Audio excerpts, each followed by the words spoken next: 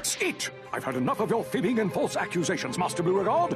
From now on, no more TV, no more video games, and no more... Uh, what else do you like? I like paddleball. No more paddleball!